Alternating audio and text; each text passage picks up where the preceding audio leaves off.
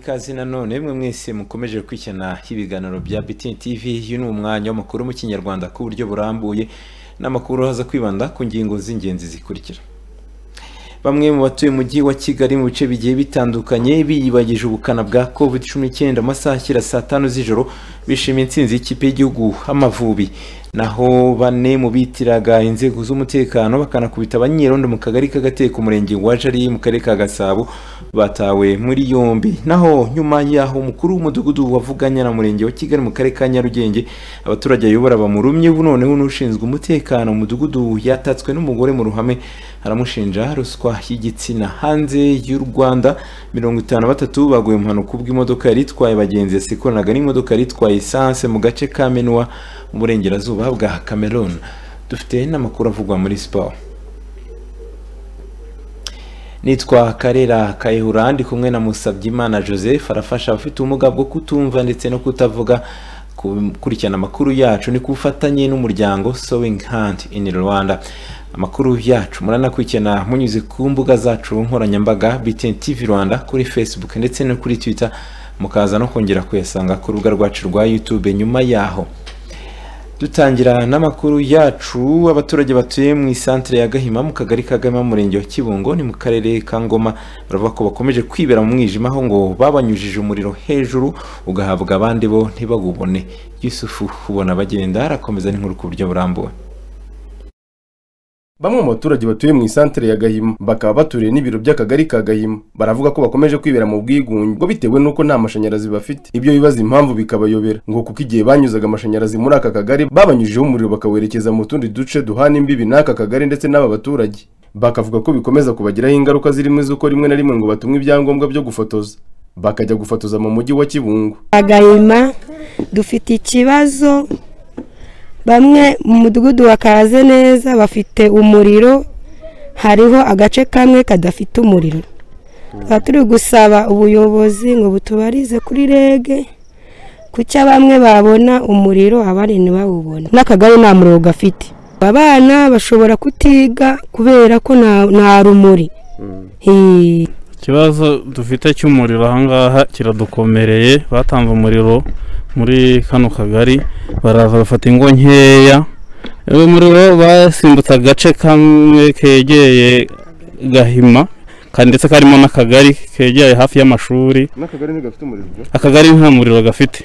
Ku buryo umuntu ahagera ashaka nka serivisi ku kagari bakakohereza kujya gufotoza ahantu kure cyane. Ku buryo usanga mbega bigoye. Ntusobanukirwe impamvu. Ntitumenye n'abo tubaza uko bimeze. Mfite ikintu twifuza nuko twabona umuriro ndetse n'akagari kakawubona. Barawuduhaye ariko basimbuka agace kamwe karimo n'akagari. N'inkingo nka magana abiri. Kandi izo ngo zigiye zegeranye. Ubuyobozi bw'akarere ka ngoma nabwo bwemera ko hari agace gato katahawe amashanyarazi. Ariko ngo aka kagari kagahima kimwe n'utundi tugari tutaragerwamo amashanyarazi. Ngo bitarenze umwaka utaha w'ingengo y'imari bazaba bagejejweho amashanyarazi. Mapambano siriyake nyiridandi ni umuyobozi w'akarere ka ngoma wungirije ushinzwe iterambere n'ubukungu. Akagari ka gahima ubundi umuriro urahagera urahagera ariko agace gatoya kasigaye nyine kari kuri santire hafi y'akagari. Katarabona umuriro. Turimo turagerageza hari utugari cumi na tubiri mu karere kose hagize utugari tugize akarere ka ngoma. Utugari cumi na tubiri dufite ikibazo cy'umuriro. Hari inyigo yakozwe rero turimo gushakisha ubushobozi kugira ngo babone amashanyarazi. N'akagari ka gahima ako gace kasigaye nako karimo. Turimo turagerageza rero kugira ngo turebe nibura ko umwaka utaha twabona amashanyarazi ageze kuri ako gace. Gahunda ya leta y'imyaka irindwi nsd wani iteganya ko mu mwaka w'ibihumbi bibiri na makumyabiri na kane buri muturage azaba agerwaho n'amashanyarazi akomoka ku ngufu zitandukanye ku kigero cy'ijana ku ijana. Yusufu ubona bagenda btn mu karere ka ngoma. Naho bamwe mu batuye umujyi wa kigali ndetse no mu bindi bice bigiye bitandukanye by'igihugu biyibagije ubukana bw'icyorezo cya covid cumi n'icyenda ku munsi w'ejo mu ijoro mu masaha ya saa tanu bakaba biraye mu mihanda. Bishimiraga intsinzi y'ikipe y'igihugu amavubi. Hemi ingabo nziza arakomeza. Bamwe mu batuye umujyi wa kigali mu bice bigiye bitandukanye saha hashyira saa tanu z'ijoro aho bishimiraga intsinzi y'ikipe y'igihugu y'umupira w'amaguru amavubi. Ibi bikaba byabaye mu gihe umujyi wa Kigali washyizwe muri gahunda ya guma mu rugo bitewe n'icyorezo cya covid cumi n'icyenda gikomeje guhitana abanyarwanda uko bwije n'uko bukeye tumwe mu duce BTN yagezemo byagaragaraga ko nta bwirinzi na buke buhari bamwe ntibatinye ndetse no guhuza ibiganza amakuru hano ku ntara za nyamirambo zirashyushye byakaze umuhanda uzamuka kugeza kuri sitasiyo ibintu ni ibirori ni ibirori turimo turaserebura intsinzi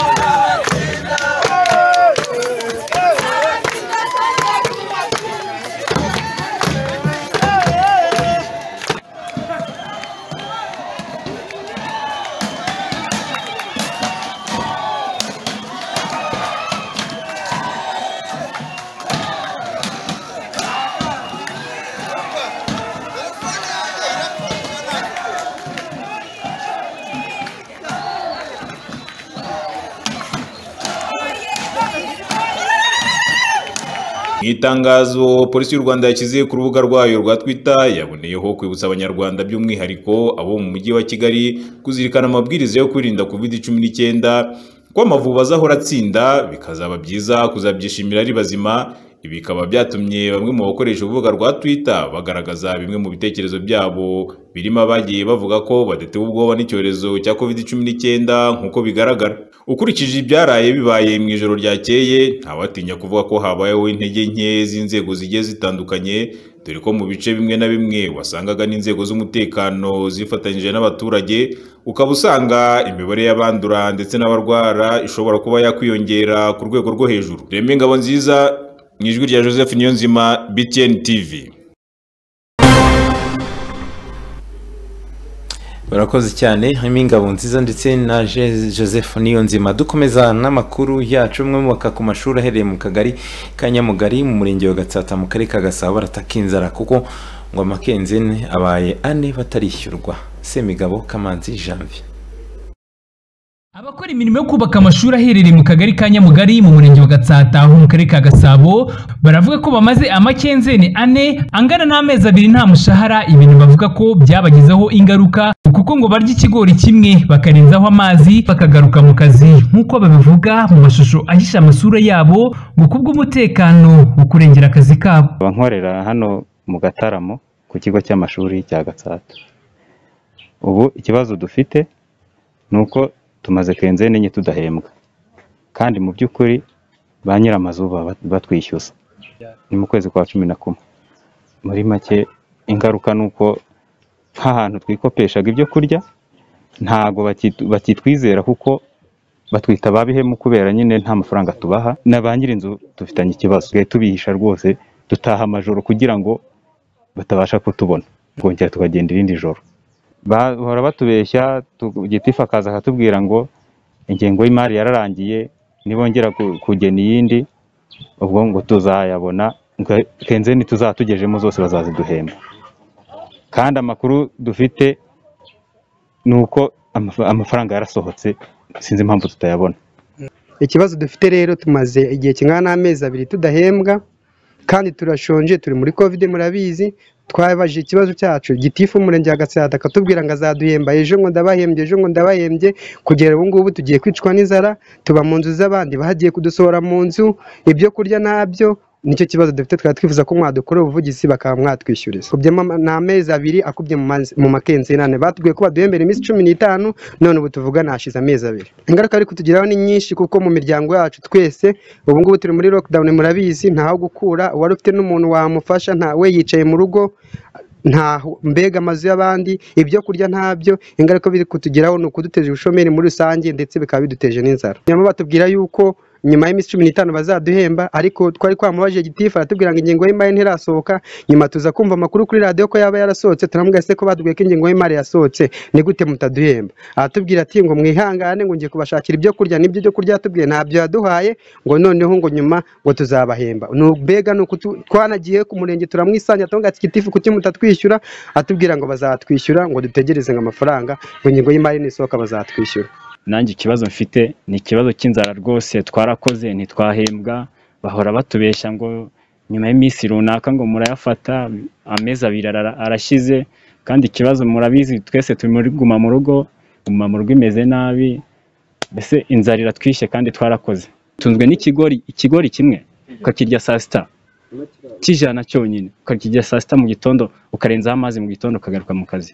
Mu rwego rwo kugira ngo byibuze iminsi yicume niba afite n'uwo mutima wo kuzahemba uzahembwe nibura uvuga ngo warakoze wakozemo utubyizi twinshi. Umuryango nyine agu- bagufata nk'aho nta kintu ukora kandi bazi ko ukora bakumva ko ubura uri kubahemukira bagusaba ngo urugero bakubajije bitanu kandi bazi umwuga ukora bazi ko wembwa bitanu bya buri munsi bazi ko umaze amezi angahe ukora bagusaba bitanu cyangwa bibiri ukabibura ukababwira ko nawe ushonje. Iyo duhembwa turakora n'abakozi bariyongera kuko ubu ngubu iyo babona badahembwa ntabwo wagenda ngo ubwire mugenzi wawe ati hariya hari akazi ngwino ujye gukora.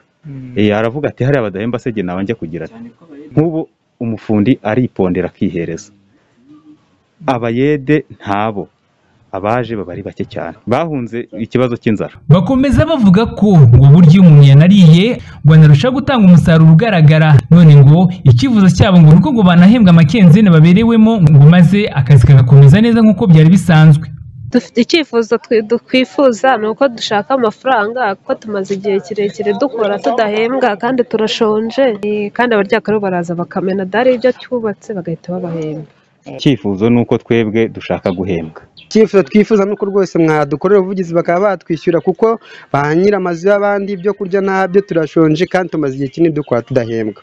Bijyanye n'umusaruro birumvikana iyo umuntu yariye afite imbaraga arushaho gutanga umusaruro utubutse kurenza uwo yatanga atariye. Tukaba twifuza ko rwose baramutse ba- badufashije bakaduhemba natwe twagira gusa tukitanga kuko n'ubundi abakozi baragabanutse muri site hasigayemo bakeya kubera ko abenshi bagiye bahunga inzara twe turakomeza turapushinga ubwo tukaba twumva ko baramutse baduhembye twashyiramo imbaraga na babandi benda bari mu rugo babuze icyo gukora bakaba baza nabo bagashyiramo imbaraga tukarushaho gukora abana bazafungura bakabasha kugira kwigira mu mashuri akoze neza. Ikin- ikintu twifuza rwose ni icyifuzo buri umwe wese dukorana yifuza. Ubu ndi kuvugira benshi mu bo dukorana. Ndabizi ko icyifuzo tugihuje. Twifuza ko baduhemba amafaranga yacu tugafasha imiryango tukishyura n'ayo madeni muri karitsiye. Niba unyuze muri karitsiye umazemo amezi abiri usaba ideni muri karitsiye. Ku murongo wa telefone twagerageje kuvugisha ubuyobozi bw'umurenge wa gatsata ndetse tunohereza ubutumwa bugufi ku munyabanga nshingwabikorwa w'umurenge wa gatsata nabwo ntibwasubizwa. Ubwo bazagira icyo badutangariza ku kibazo cy'aba bakozi tuzabigaruka amakuru yacu ataha. Jean pierre kamanzi semugabo btn tv mu mujyi wa kigali. Umubyeyi witwa mukeshimana beri atuye mu murenge wa masaka akarere ka kicukiro arasaba nyakubahwa perezida wa repubulika y'u rwanda kumurenganura akabona pansiyo z'umubyeyi we wari pasiteri mu itorero ry'abadivantisite witabye imana mu gihumbi kimwe cyenda mirongo icyenda na gatatu ndetse na nyina witabye imana mu mwaka wa bibiri cumi na karindwi akaba hari na byo wari byagombaga guhabwa ariko atahawe n'itora. Akavuga yuko itorero ryakomeje kumusiragiza. Janvier kamanzi semigabo ndetse na keve christian badufitiye inkuru ku buryo burambuye uyu mubyeyi witwa mukeshimana beri utuye mu karere ka kicukiro umurenge wa masaka atangaza ko yarenganijwe n'itorero ry'abadivantisite b'umunsi wa karindwi kuko yimwe iby'amategeko yemereraga ise wahoze ari umupasiteri muri iri torero firidi y'amajyepfo. Akarengane mfite ni uko papa yasinziriye mu- kwezi kwa gatatu mu gihumbi kimwe magana cyenda na mirongo cyenda na kane. Njyanye igipapuro cy'uko yasinziriye. Byabaye ngombwa yuko pasi yari afite icyo gihe nari nzi ko yahagaze. Yakoraga iki? Yari pasiteri. Ariko mu kurwara kwe namuzanye n'i Butare ndera ngo ndebe ikintu cyari cyatumye cyahungabanya mu mutwe kuko yari yakoze akasida ayo namuvuje kumushyingura imperekeza nta kintu na kimwe batumariye. Atangaza ko na nyuma umubyeyi yarasigaranye yaje kwitaba imana gusa nabwo ngo iri torero ntacyo ryigeze rimufasha habe no mu ivuzwa rye nyamara na byo itorero ryaragombaga kubimufashamo gusa akavuga ko nyuma yaje koherezwa urupapuro ruriho amafaranga yagombaga guhabwa ahageze atungurwa no gusabwa imbabazi ko hakozwe ikosa akakira izo mpapuro. Nyuma yaje gutungurwa ubwo yabwirwaga n'umujyana w'iyi asosiyasiyo witwa Abraham kuzajya kurega aho ashaka niba yararenganijwe. Muri bibiri na cumi na karindwi umukecuru nawe arasaza arasinzira. Fagitire nari namuvujeho eh, fagitire z'uko namushyinguje byose ndagenda ndabibashyira n'icyangombwa cy'uko yapfuye. Barabyakira. Uwo munsi wo kubyakira bampaye ibihumbi ijana na mirongo inani by'i- by'isanduku. Kandi isanduku nari nayiguze ibihumbi magana abiri na cumi. Ariko muri rusange nari imushyinguro byari ibihumbi magana atandatu n'ijana na mirongo irindwi. Noneho hashize iminsi muri bibiri na cumi n'umunani banyohereza igipapuro cyerekana yuko hari amafaranga ngomba kuza gufata kuri aho kuri asosiyasiyo ngiyeyo natunguwe no kumva bambwira ngo ayo mafaranga ni pasiyo y'ikiza none nimbababarire kuko iki gipapuro cyasohotse. Noneho ndababwira nti bo nimba musabye imbabazi ngewe amatike mwamvunishije niruka nshaka amatesitasiyo nzi ko muri kumpa ibiri kuri ya mafagitire nabasigiye none rero ngewe sina nimuyansubize.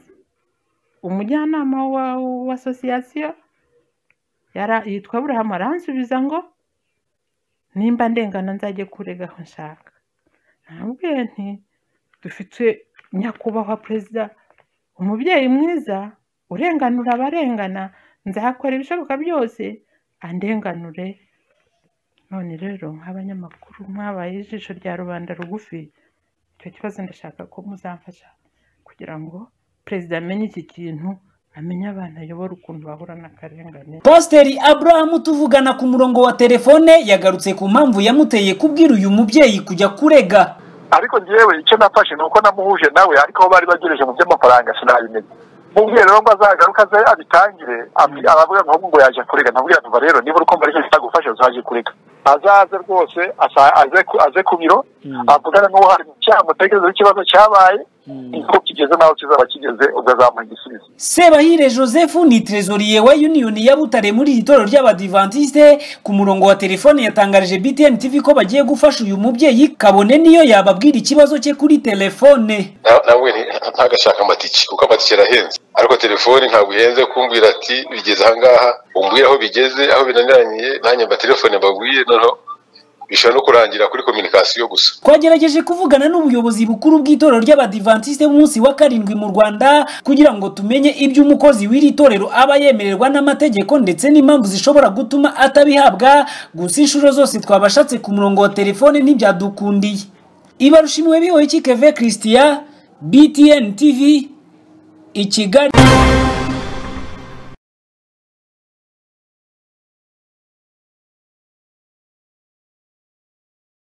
Kudafata no kutayobora amazi y'imvura ni imwe mu myitwarire ituma tugira kudafata no kutayobora amazi y'imvura ni imwe mu myitwarire ituma tugira ibibazo by'ibiza. Bikadusenyera inzu bikangiza n'indi mitungo. Ni muri urwo rwego minema ishishikariza abantu bose gufata amazi y'imvura ukoresheje ibigega n'ibindi bikoresho gushyira imireko ku nzu mu rwego rwo kuyobora amazi ava ku mabati guca no gusibura imiferege iyobora amazi ndetse no guhoma neza inzu kugira ngo amazi adacengera mu nkuta.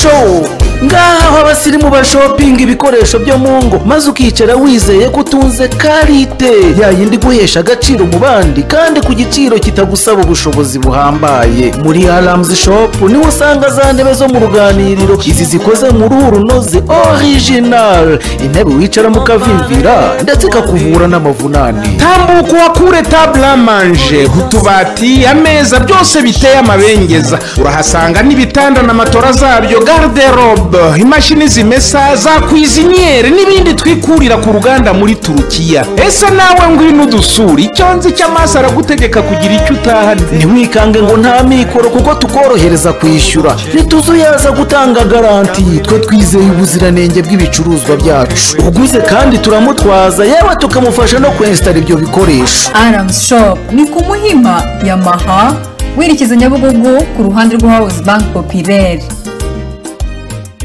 genuine reflexology center. Uwamenye iki kigo nzahura buzima ntazahazwa n'indwara z'imitsi cyangwa iz'ingingo kuko aba bahanga bazihangamura bifashishije reflexology bwa buryo bwihariye bukangura imyakura. Yaba ari n'umwana wavukanye ubumuga baramufasha mu gihe gito umubiri we ugasubira mu buryo. Ubu buhanga genuine reflexology center yifuje ko tubusangira ngo twikorere reflexology ubwacu cyangwa tuyikorere abandi. Ubu dufite reflexotherapy tv kuri youtube. Twigiraho amasomo ya reflexology ku buntu. Naho ubumenyingiro bushingiye ku bushakashatsi bwakozwe n'aba bahanga. Tukabuvoma ku rubuga wa eshatu akadomo next reflex akadomo com ku mafaranga ibihumbi icumi gusa. Inzira unyuramo wishyura na yo urayisanga kuri uru rubuga. Sobanuza kuri zeru karindwi umunani umunani mirongo ine mirongo icyenda na kabiri mirongo itandatu na kane. Bitihise ugere kuri genuine reflexology center ku kimironko. Aharebana na reg ishami rya remera. Wari uzi ko watumiza smartphone y'agahebuzo muri tekino yesi fone tukayikugezaho iwawe. Hamagara zeru karindwi umunani umunani makumyabiri na rimwe cumi na gatatu makumyabiri na gatanu. Utumize iyawe tuyikugezeho mu kanya nk'ako guhumbya. Ndavuga kamon 16 kamon 16s na kamon 16 premier. Ikesha amafoto ku bwa megapixel mirongo itandatu n'enye. Ifata amavideo mu buryo bugezweho bwa slow motion ikagira ububiko bw'amajiga ijana na makumyabiri n'umunani yose. Ramu y'amajiga umunani na androide ya cumi.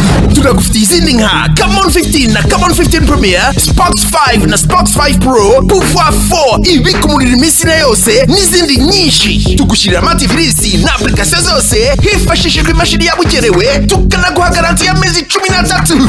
Uguze wese tumuha interinete y'ubuntu n'izindi mpano zitandukanye. Wanadusanga mu mujyi rwagati hafi ya city plaza. Ahamanitse igitelefone cya rutura cyanditseho yes phone na nyabugogo mu mashyirahamwe hafi ya mtn center na airtel center. Niko agaciro k'uruhu rwawe waba ukazi ukaba ukiri usiga inenge mvamahanga. Iwacu hari abahanga bahanze akeza gakesha uruhu rwawe kakakuzamurira uburanga. Kitwa shayina uzi ukuntu glycerine ya shayina ifungura amavuta wisiga agafata ku mubiri neza. Wanayisiga yonyine akagukiza wa mwera wananiye ayandi. Cyo kimwe na vaseline yayo ikesha abakuru n'abato bagasigara bashashagirana kurusha shenete ya zahabu. Si ibyo gusa kuko igufitiye isabune y'amazi yoza ibyombo bigasubira ibushya n'ibindi bikoresho byinshi by'isuku n'uburanga.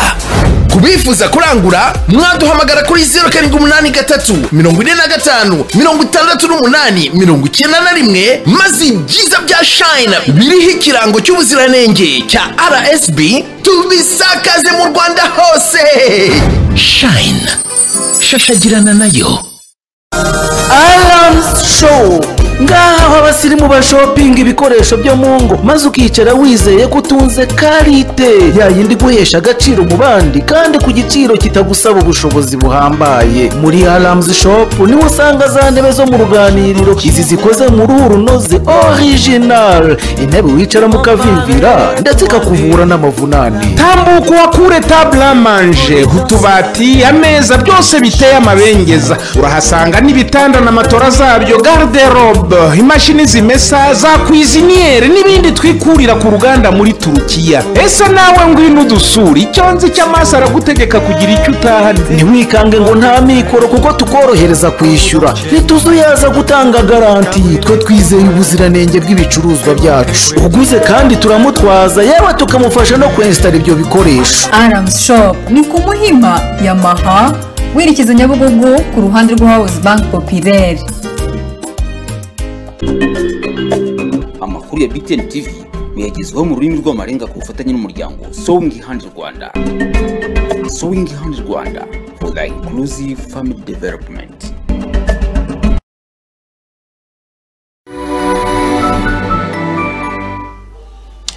Turagarutse n'amakuru yacu n'amakuru n'ubundi umuntu akurikirana munyuze ku mbuga nkoranyambaga zacu kuri facebook ndetse no kuri twitter ariho ni btn tv rwanda. Dukomeza n'aya makuru bane mwitiraga inzego z'umutekano bakanakubita abanyerondo mu kagari k'agateko umurenge wa jari ni mu karere ka gasabo.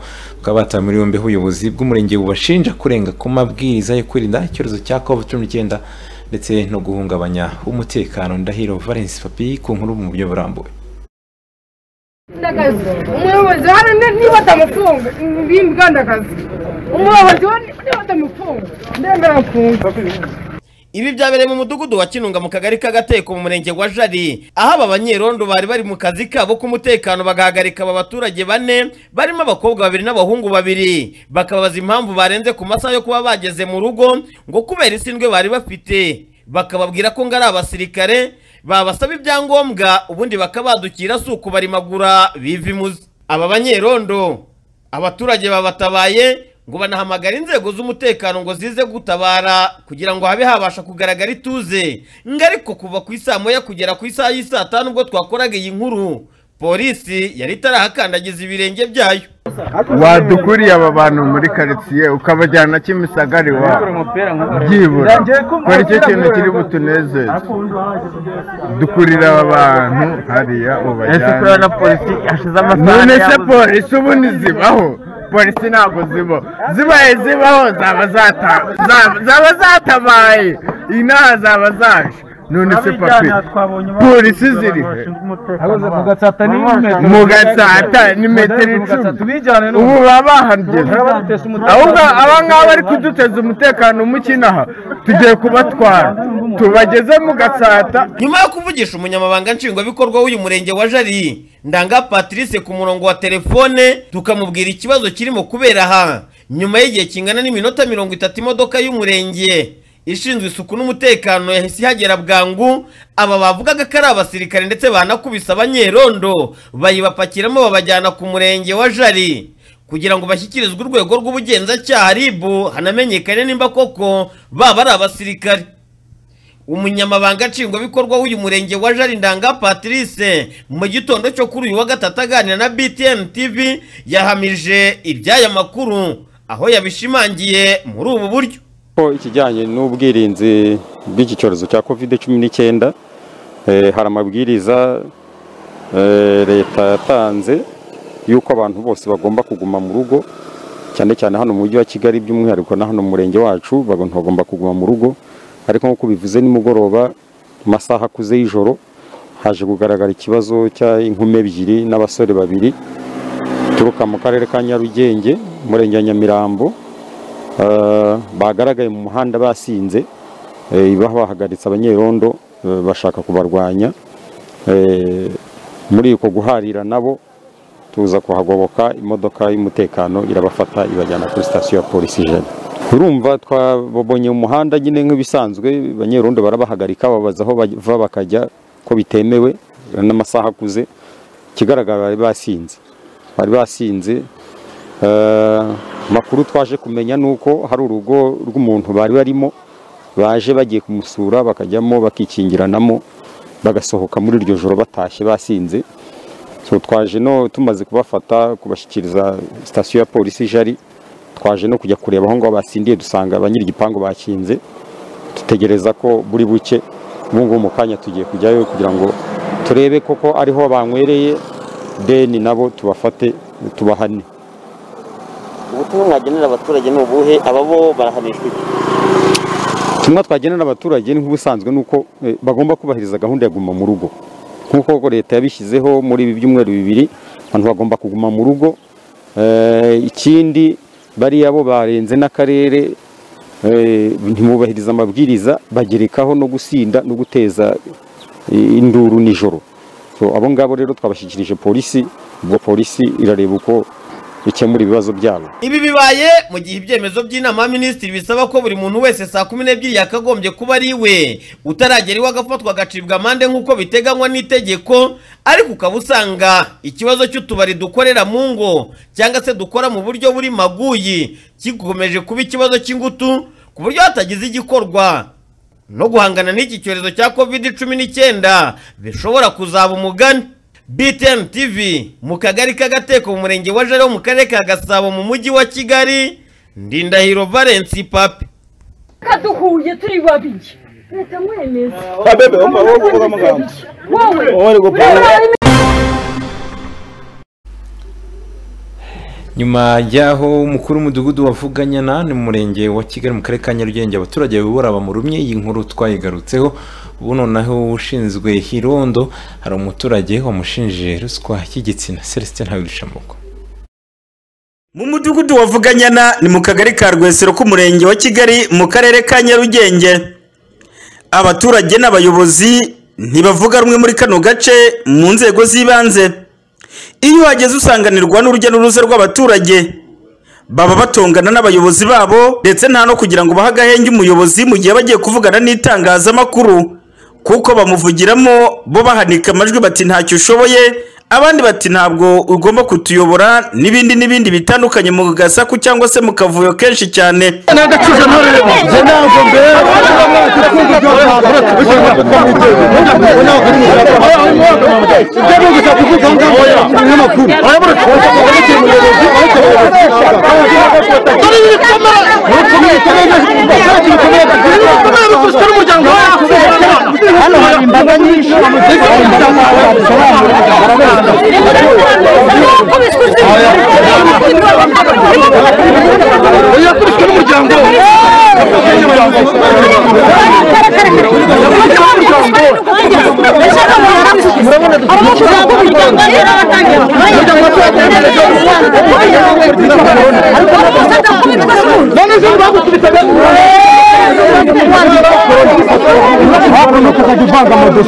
ni nyuma y'inkuru kandi twari twamaze no kubagezaho yaho umuyobozi w'umudugudu noneho atagishobora kwijyana muri aba baturage adafite inkoni.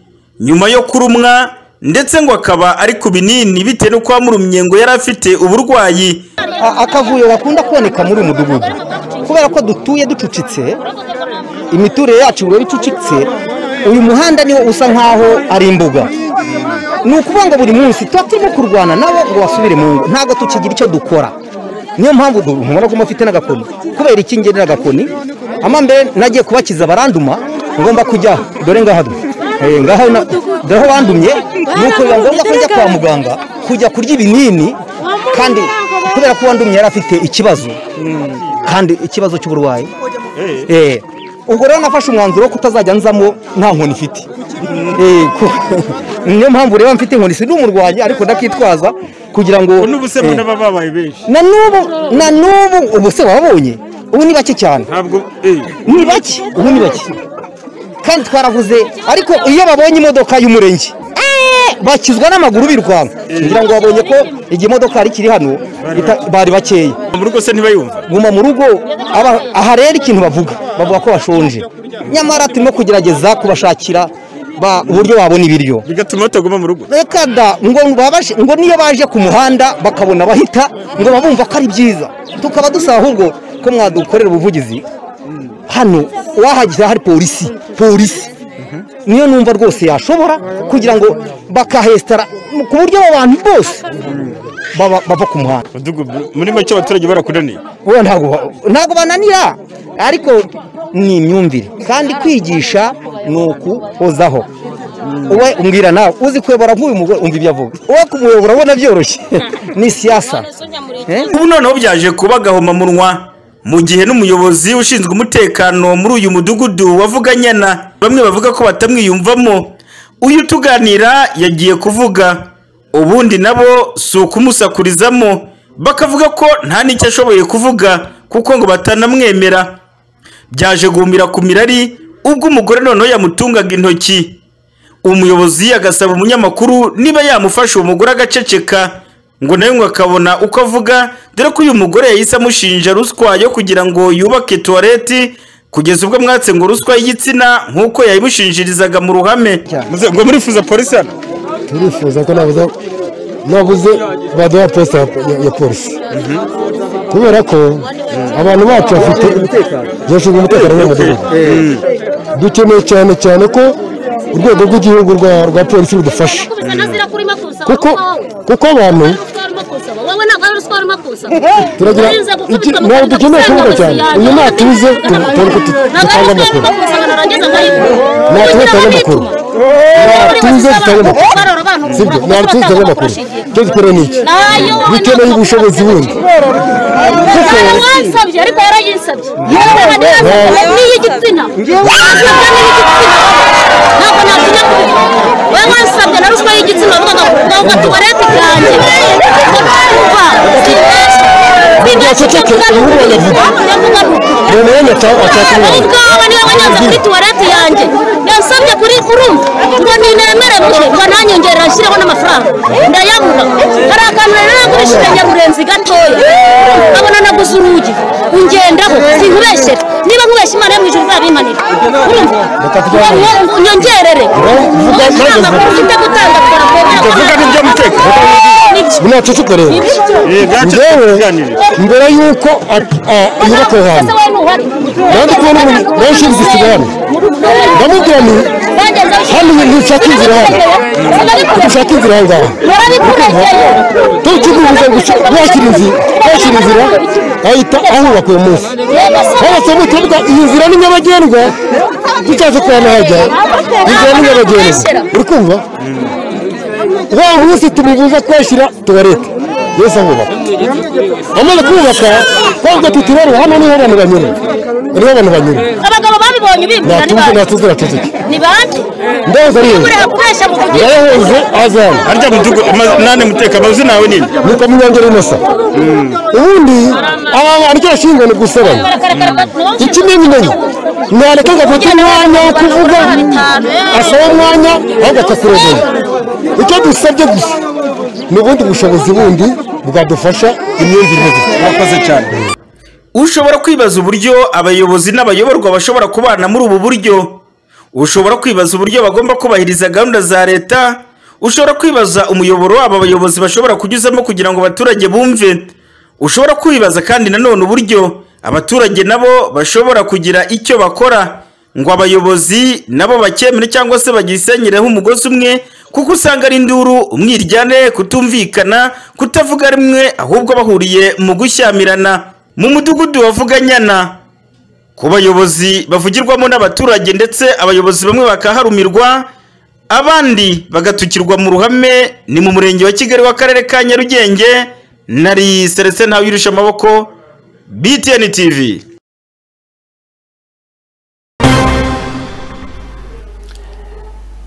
naho nyuma y'aho bamwe mu baturage baturiye pariki y'ibirunga mu karere ka nyabihu bagaragaje ibibazo baterwa n'inyamaswa ziva mu ishyamba zikaza kubangiriza ibyabo ubu noneho ubuyobozi bw'akarere ka nyabihu baratangaza ko bagiye gukorana n'ikigo cya rdb kugira ngo barebe uburyo abaturage bajya bishyurwa. Iyi nkuru ni iya gaston irembera.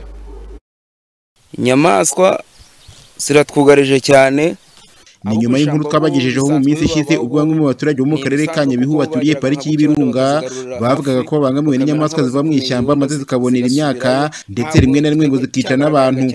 aba baturage bakaba barasabaga ko iki kibazo cyashakirwa umuti ndetse bakajya bishyurwa vuba ibyo izo nyamaswa ziba zangije cyane cyane imyaka baba barahinze.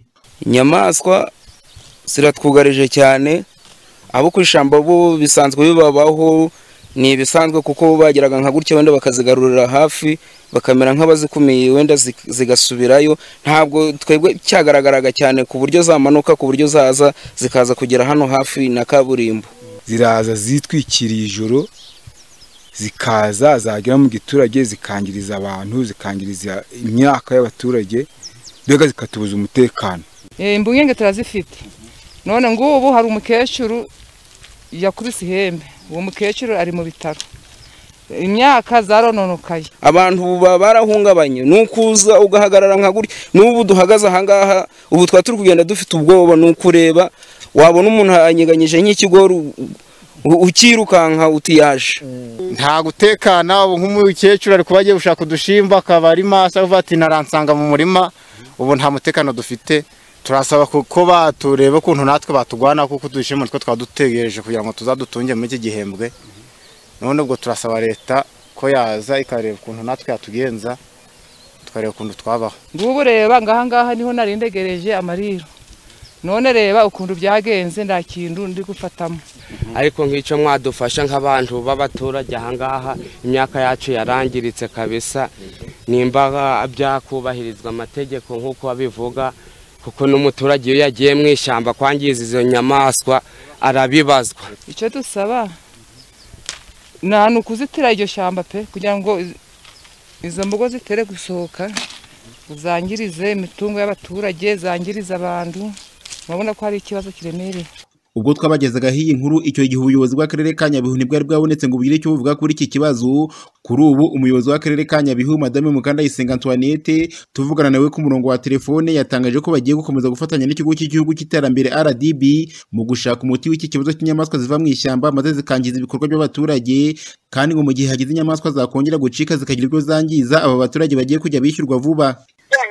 Inyamaswa rero zishobora kutuzonera abantu ziturutse mu ishyamba ry'ibirunga dufitanye imikoranire myiza n'ubusanzwe na rdb aho iyo abantu bahuye n'ikibazo cyo konerwa n'inyamaswa mu myaka yabo habaho kubarura hari timu ibikurikirana ikagenda ikareba ubwo bwone ikabwemeza noneho byarangira bigashyikirizwa rdb na yo igatangira guprosesinga uburyo bwo kubishyura. Icyo nababwira buriya iyo habonetsemo agakosa burya ni na- ni naho umuntu abonera umurongo wo gukosora wenda hari ahashobora kuba haragaragara ibyatinze kubw'impamvu runaka muri ubwo buryo bwo kumenya aho ikosa ryaturutse ku bikurikiyeho tugenda rikosoka vuba vuba kugira ngo bitongera kumera nk'ibyahise ikibazo cy'inyamaswa ziva mu mashyamba no muri za pariki maze zikonera abaturage gikunze kumvikana hirya no hino mu gihugu. Abaturiye za pariki n'amashyamba bakaba bavuga ko inzego zibishinzwe ziramutse zishakiye umuti urambye iki kibazo. Abahatuye batura batekanye batikanga ko ibyabo byakongera kwangizwa n'inyamaswa. Gaston nirembere btn tv mu karere ka nyabihu.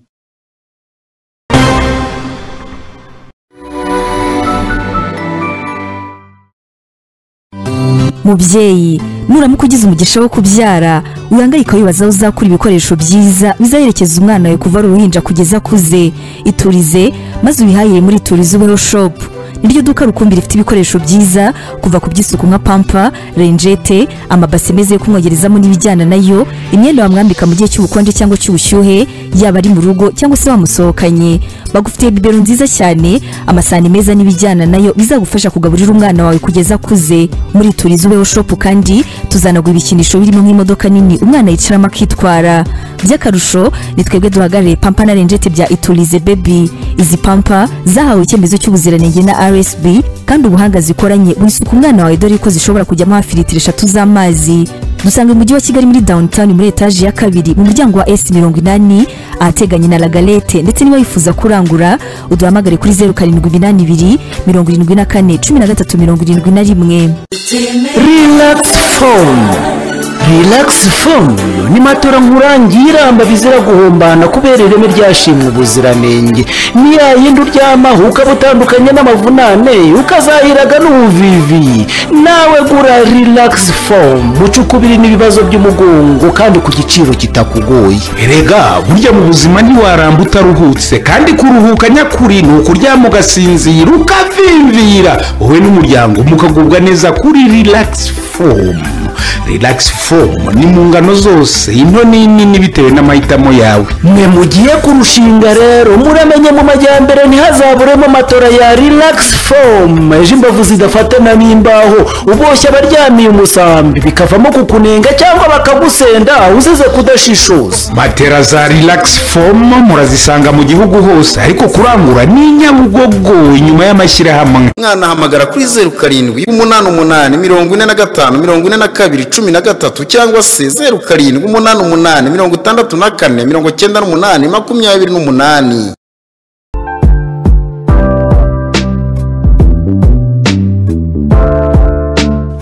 Muraho neza. Bazaniye amakuru meza. Wari uzi ko ushobora kuba wahaha aho uri hose mu gihugu hanyuma tukabikugezaho mu gihe gito cyane. Nta kindi bigusaba ushobora kuba wadusura kuri webusayiti yacu kuri wawawa akadomo ahupa akadomo neti cyangwa se ukaba watwandikira kuri watsapu kuri iyi nimero iri hasi. Ubundi ukihahira kandi byoroshye cyane. Twandikire hanyuma tubikugezeho aho uri hose.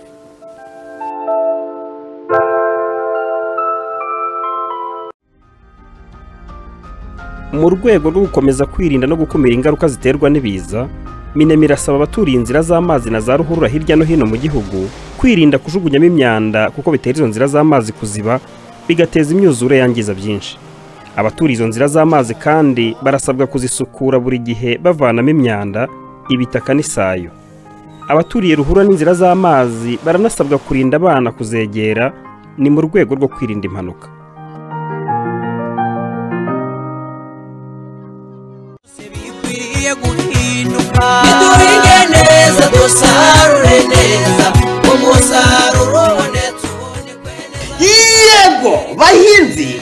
Iki ni cyo gihe nyacyo cyo kwitegura igihembwe cy'ihinga kugira ngo twongere umusaruro ni muri urwo rwego kampani ya barton rwanda limited yabazaniye inyongeramusaruro z'ubwoko bwose. Harimo nk'amafumbire aterwa amababi nka woxomakromix ifite na sitika ivangwa n'imiti kugira ngo imvura cyangwa izuba ryinshi ntiriyivaneho. Profid standard. Na multike musanzwe mumenyereye. Umuti urwanya indwara z'uduhumyo mu birayi n'inyanya witwa barcorat imiti y'udusimba na nkongwa na vusipurumetine na boketi.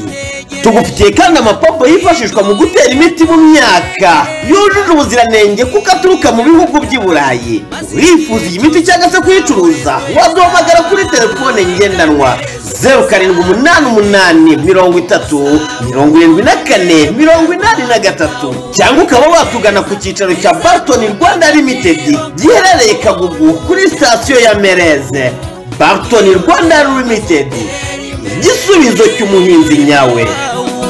Ukorere neza. Utere imbuto z'indobanure uzitere ku murongo. Ufumbeze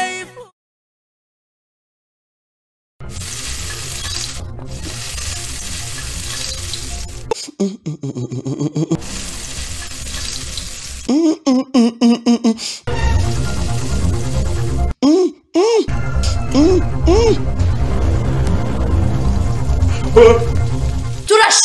papa samu mama sa ni ukuri nawe uru rubanza rwagutsinda. Si we watekesheje iki kirungo cya sante?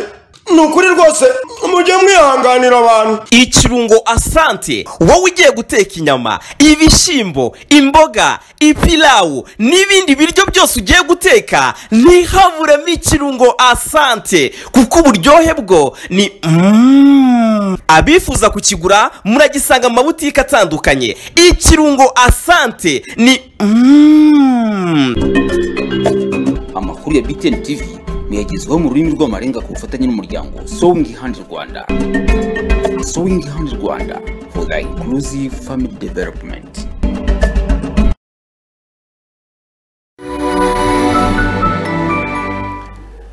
Dukomeza n'amakuru yacu n'uwineza vestine wibarutse abana batatu b'impanga ndetse b'abahungu. Nyuma akaza kurwara amabere bigatuma atabonsa neza arasaba akarere ka ruhango kumugoboka kugira ngo abone uko abasha gutunga aba bana.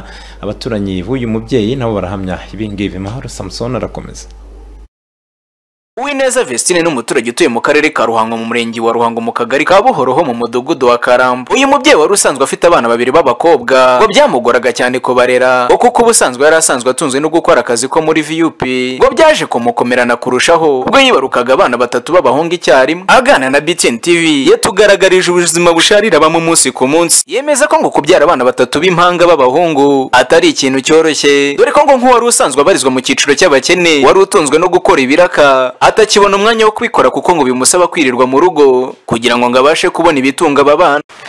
Mu buzima busanzwe rero uko nari mbayeho nari umuturage w'umukene nari ntunzwe no gukora viyupi nkabasha kubona icyo kwirengeza no gutunga abana mfite.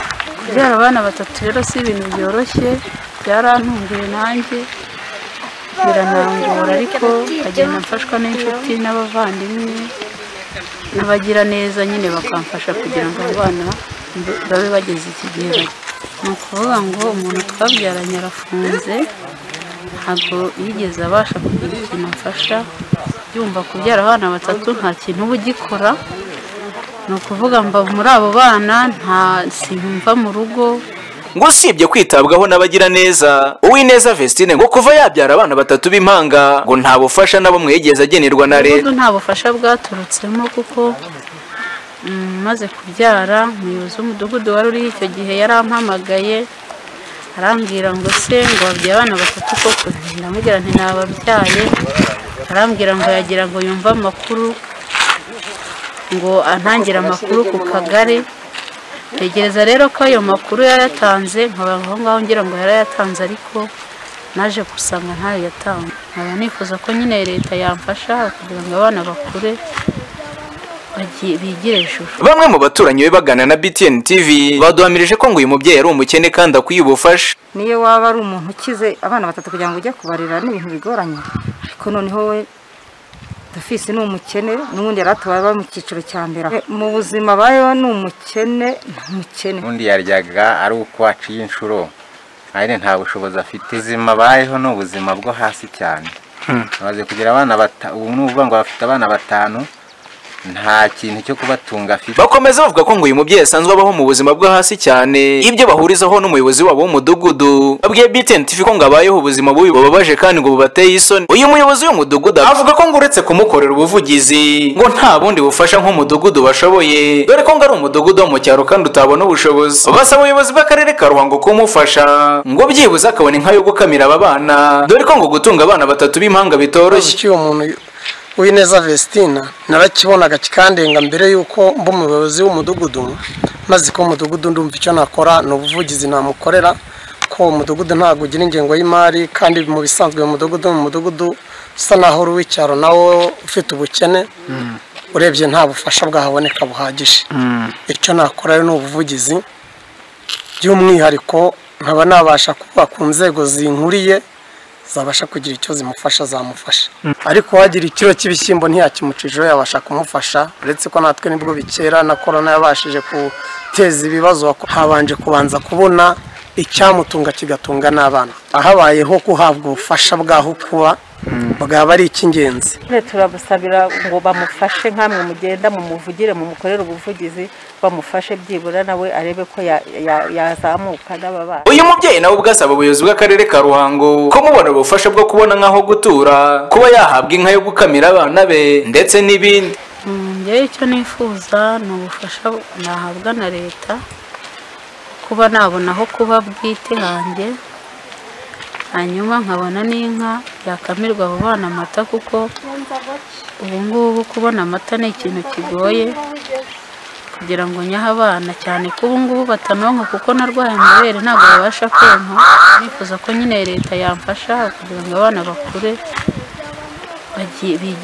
Ku murongo wa telefoni btn tv igana n'umuyobozi w'akarere ka ruhango wungirije ushinzwe imibereho myiza mukangenza alphonsine yatubwiye ko ngo nk'akarere batari babashije kumenyera amakuru y'uyu mubyeyi ku gihe. Ariko ngo aho bayamenye bakaba bagiye kwifashisha inzego z'ubuyobozi zimwegereye. Ndetse ngo n'ikigo nderabuzima kugira ngo abana be babashe kwitabwaho ku bigendanye n'imirire. Avuga kandi ngo kuko uyu mubyeyi yaragize ikibazo cyo kurwara amabere ntabashe konsa. Icya mbere yakagombye kugana ikigo nderabuzima akabanza akivuza. Ariko ngo nk'ubuyobozi bw'akarere ngo bagiye gufasha aba bana kugira ngo babashe kubona icyo kunywa. Uyu muyobozi kandi yijeje btn tv ko ngo uyu mubyeyi agiye gushakirwaho kuba mu buryo bwihuse. Ntabwo twabashije kumenya ayo makuru kare ariko aho tuyamenye turi bufatanye n'ubuyobozi bumwegereye ndetse n'ikigo nderabuzima kuko n'ubundi hasanzweho gahunda yo gufasha abana. Umubyeyi nawe ari bufashwe muri iyo gahunda kugira ngo abana kuko batajya mu mirire mibi.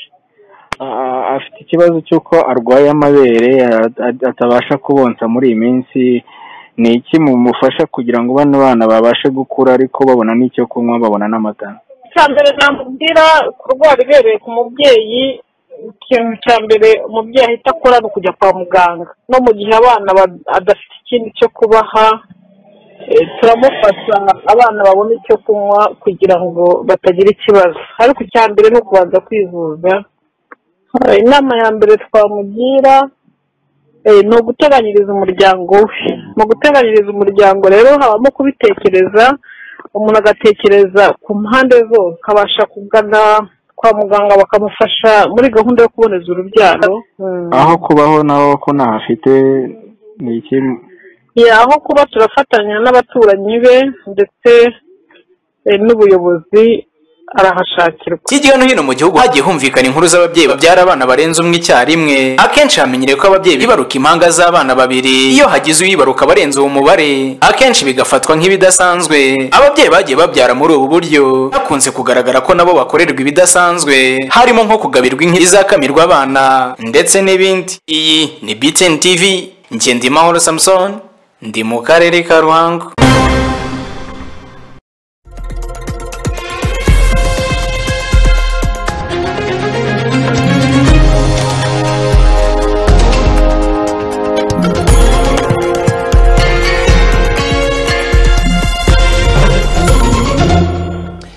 Amakuru avugwa hanze y'u Rwanda abantu mirongo itanu na batatu baguye mu mpanuka ubwo imodoka yari itwaye abagenzi yasekuranaga n'imodoka yari itwaye esanse mu gace ka Menwa n'uburengerazuba bwa Cameroon nk'uko amakuru aturuka muri Cameroon abivuga guverineri w'aka gace yitwa Awa Fonkago Augustine yavuze ko uretse abo bantu bapfuye abandi bagera kuri makumyabiri n'icyenda bakomeretse bikabije bitewe no gushya abagera kuri mirongo ine bakaba harimo n'abakomeretse byoroheje bahise bajyanwa ku bitaro bya Chang hafi y'ahabereye impanuka.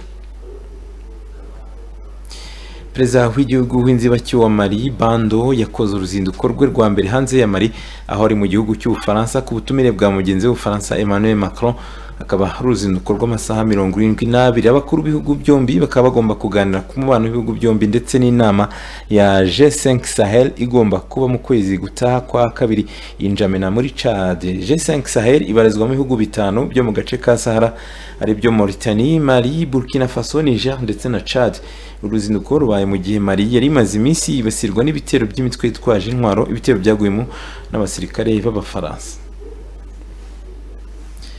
Kiliziya Katolika muri Tanzania yasabye abayoboke bayo gushyiraho ingamba zo kwirinda icyorezo cya coronavirus gikomeje kwiyongera mu gihe leta ihamya ko icyorezo kitakirangwa. Muri iki gihugu perezida w'akanama k'abepiskopi muri Tanzania Musenyeri Gervas Nayisonga mu ibaruwa yageneye abakristu yavuze ko kiliziya yasanze imibare y'ibitaba imana. Muri iki gihugu iri kwiyongera bityo ko bishoboka ko abantu baba bari kuzira covid cumi n'icyenda yavuze ko abantu bagomba kubahiriza ingamba zo kwirinda coronavirus kandi bagasenga imana ikabakiza iki cyorezo. Muri gicurasi umwaka ushize perezida john pombe magufuli yavuze ko amasengesho yafashije icyo gihugu gutsinda coronavirus maze agaya abacyambara agapfukamunwa. Kuba icyo gihe imibare y'abandura n'abahitanwa na coronavirus ntirongera gutangazwa. Tukiri kuri perezida wa tanzania john pombe magufuli yaburiye abashinzwe ubuzima bw'abantu ko batakwihutira kuzana inkingo za covid cumi n'icyenda batarebye ibyemezo kuko ngo zishobora kubangamira ubuzima bw'abaturage.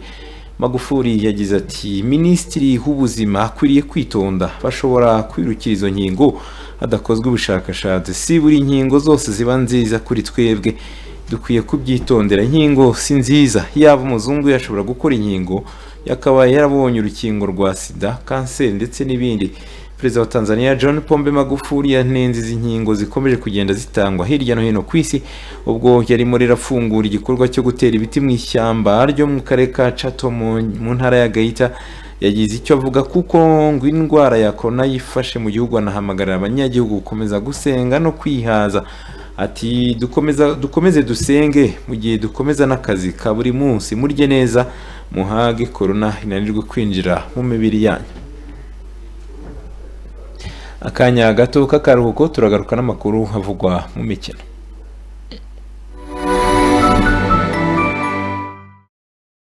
Muri iki gihe duhanganye n'icyorezo cya korona vayirasi turashishikarizwa gukaraba intoki n'amazi meza ndetse n'isabune ya deteregisi kuko deteregisi ni antibacterial.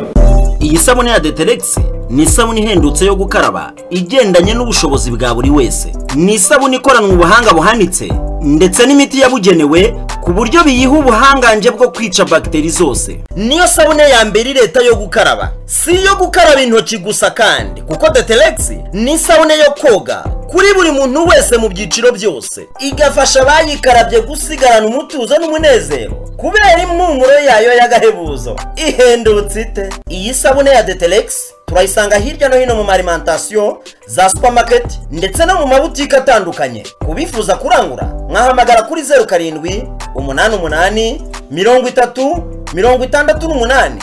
Zeru kabiri.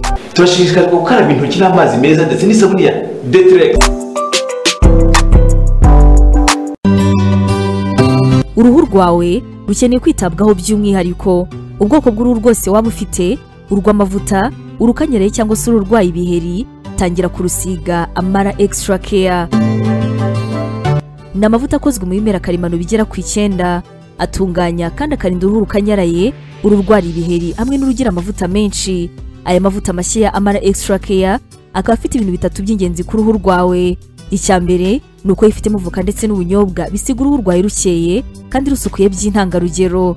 Icya kabiri yifitemo ibyatsi karemano birinda uruhu rwawe kurwaragurika maze ibiheri bigashira kandi ukagumana umutuzo.